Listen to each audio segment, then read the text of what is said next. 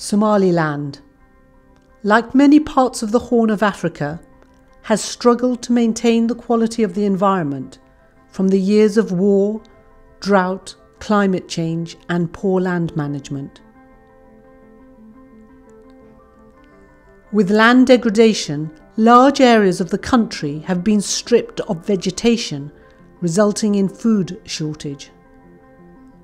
But with your help, there is opportunity to eradicate food poverty in post conflict Somaliland. Yeheb is a known shrub found in specific areas of Somalia and parts of Ethiopia. It is able to grow in drought conditions and a source of food for both animals and for the people of Somalia who derive their livelihood from the land.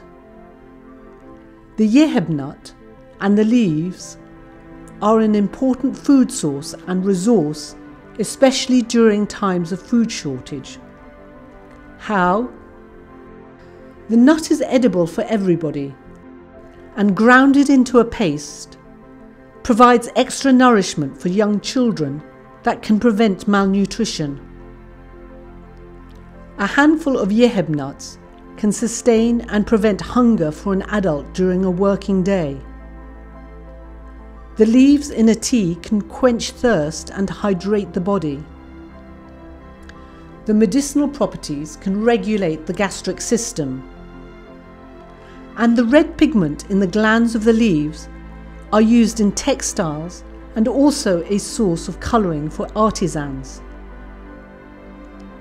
Yeheb was once a dominant shrub, but overexploitation and overgrazing by both goats and camels, excessive seed harvesting and cutting of wood for fuel and building structures, the Yeheb is now threatened with extinction.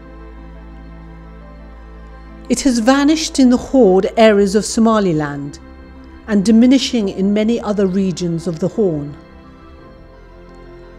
Dr. Muna Ismail leads the Initiatives of Change Yeheb project, working with the local community, aiming to restore this plant as a reliable, drought resistant food source. Amongst the many objectives is to aid the restoration of degraded rangeland, to provide resources for fencing to protect the young plants, to help build food security to communities in drought prone areas, connect individuals and communities across clan and national boundaries, to build local capacity and capability to cultivate Yeheb for sustainable living for the benefit of the whole community. You can support the Yeheb project by sponsoring a small plot of land, a simple irrigation system, or help acquire modest but vital farming equipment to ensure this plant continues to grow and flourish for sustainability in the local community.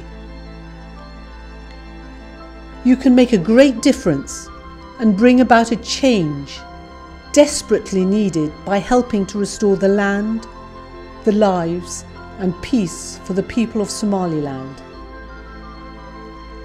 To make a donation today, go to the Yeheb Project.